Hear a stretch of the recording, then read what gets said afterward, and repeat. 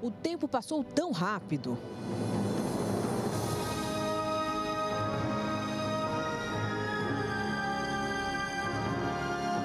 Já dizia o poeta.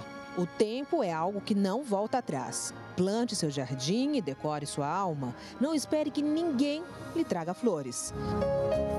Foram 17 anos dedicados à televisão, 13 deles à Record TV. Uma oportunidade maravilhosa de contar tantas histórias. Em todas, o que valeu mesmo foram as pessoas, os personagens que viraram amigos. São tantos e me arrisco a contar alguns. Difícil é passar um único dia sem receber um recadinho da Rafa. É cada um. Tia, eu também te amo muito. Um beijão, boa noite, fica com Deus. Em 2014, contei o drama dessa família que se uniu para lutar contra uma leucemia diagnosticada na Rafa. Aprendi muito sobre fé e amor. Eu quero dizer para vocês que diante de qualquer tempestade que você esteja passando na sua vida, que entregue na mão de Deus e que bote para fora todo esse amor que você tem, porque diante das dificuldades tudo vai passar. Conheci uma boneca em forma de gente. A Karine nasceu com uma paralisia cerebral. Na campanha para um tratamento com células troncos na Tailândia, aprendi sobre dedicação, perseverança e esperança.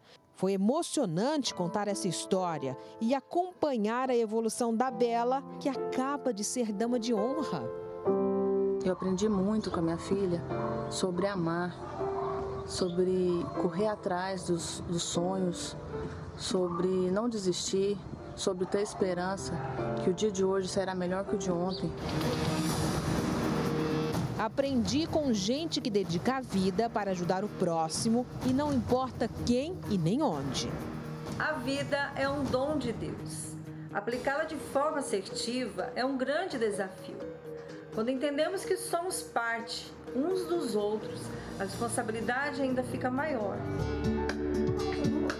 Foram tantas e inesquecíveis histórias, todas de alguma forma me fizeram crescer, aprender e entender que há muito a ser feito.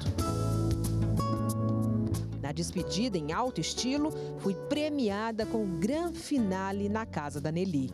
A mãe do Fabiano, um menino com uma síndrome raríssima. A mãe biológica era uma adolescente de 15 anos, estuprada pelo próprio pai. Para os médicos, ele viveria pouco se não fosse essa admirável mulher. Foi a história do Fabiano e da dona Nelly ir ao ar para o problema ser resolvido. Logo apareceu uma pessoa com um coração tão generoso como o da dona Nelly. Ela pediu um aparelho como esse. O que estava aqui era emprestado e ela teria que devolver. Dia 1 de maio seria a devolução, mas esse aparelho chegou antes para tranquilizar o coração da dona Nelly. Quando a vez ele, ele olha para mim assim, eu tô ali naquele, ele olha, naquele sorriso, eu falo assim, é Jesus que está rindo para mim. Então a, a maior recompensa é ter ele. Ela tem razão. Já tinha aprendido em casa que, ainda que eu falasse a língua dos anjos, nada seria se não tivesse amor. Eu fiz tudo com esse sentimento e ainda recebi para isso. Não tinha nenhuma possibilidade do saldo ser negativo. Saio com a mesma empolgação com que entrei. Muito mais grata por dividir minhas alegrias e tristezas. Foi aqui nessa emissora que fui mãe três vezes. Minha última filha, a Aurorinha, nos deixou muito rápido, mas nem por isso poderia deixar de entender que ganhei muito mais do que ofereci. Se o que importa nessa vida são as pessoas, ah, enriqueci. Ainda vou contar muitas histórias, só que agora tem capa, tem páginas, tem meu coração traduzido em textos que tão somente se resumem no dom de amar. Obrigada, Record TV. Que o rei me empreste um trechinho de sua música para resumir minha história nesse tchau, que quem sabe pode ser um até breve.